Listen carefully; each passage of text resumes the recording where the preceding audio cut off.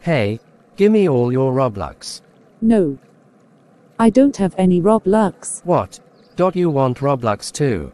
Now, we can download this app. Okay.